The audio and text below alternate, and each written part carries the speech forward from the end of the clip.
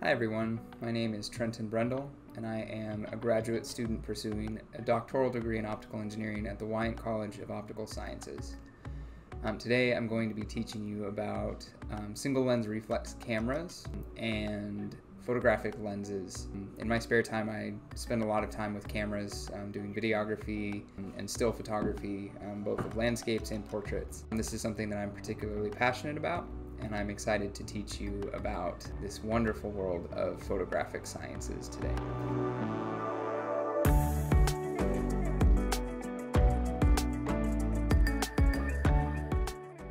There are many types of single lens reflex cameras. Here we see a film camera that uses a sensitive film to capture light from the scene. We also have digital single lens reflex cameras which use CMOS or CCD sensors to capture light. This digital single lens reflex camera is currently using a 50mm focal length lens at f2.8 with a lamp on top to illuminate the scene.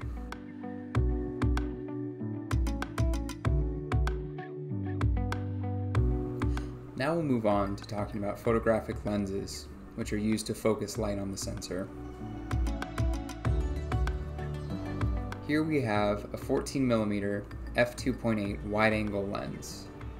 I primarily use this lens for astrophotography thanks to its wide field of view and superior light collection abilities. This lens has a manual aperture adjustment ring. You can see as we rotate the ring that the pupil gets smaller. Here we're closing the aperture stop down to limit the amount of light that enters the lens. This is useful for increasing the depth of field and also limiting the brightness of the scene.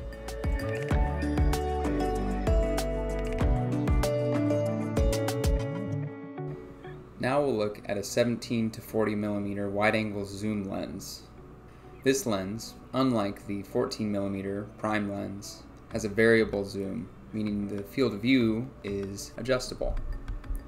You can see here as we zoom the lens that the field of view of this objective changes, as evidenced by the change in the size of the pupil.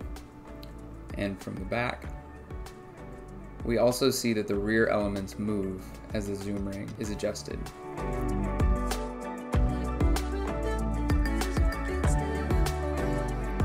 This lens may be used with automatic focus or manual focus, where we may adjust the focus ring to different distances according to which object we're trying to focus on. Next we'll look at a 24 to 105 millimeter f4 lens. This is an all-around workhorse lens that's used for all sorts of shooting. You can see I've gotten plenty of use out of it given the gashes on the front.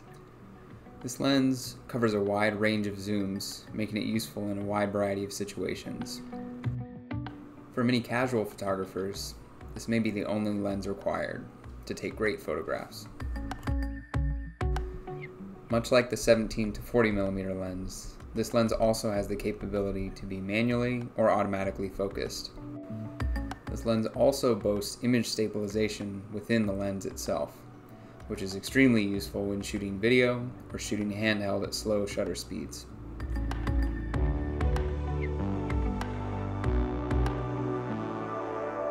Finally, we will look at the 70 to 200 millimeter f2.8 telephoto zoom lens.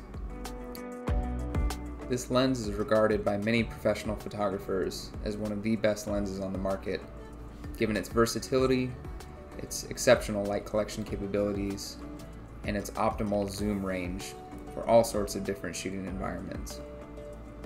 In order to achieve such a fast focal ratio on a lens with such a long focal length, the diameter of the elements has to be quite large. This makes the lens rather heavy and is not super fun to carry around on a long day hike, but the photos that can be captured with this beast are worth it. Not only photos, but video too looks phenomenal when shooting with this lens. The long focal length and large aperture make this lens ideal for achieving beautiful bokeh effects and very shallow depth of field, which is optimal for isolating the subject from the background. This lens also has exceptional image stabilization, which is critical for such a long focal length when shooting handheld.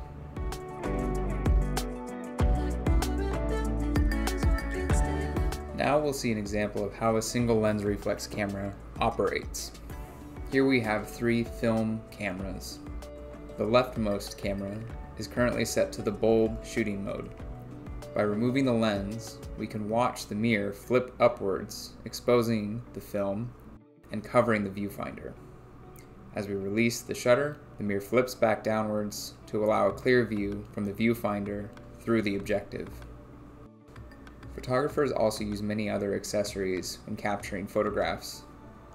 Here, we see a flash, which is used to illuminate the scene, a microphone, used to record audio, and an SD card, which stores images and video files for later editing. Finally, we'll take a closer look at what the aperture stop looks like as it changes in size. The aperture stop determines the size of the on-axis ray bundle that travels through the optical system, which in turn defines the amount of light on the sensor. I hope you have enjoyed this brief introduction to the single lens reflex camera and photographic imaging lenses. If you have any questions, please feel free to leave them in the comments. Thank you very much for watching.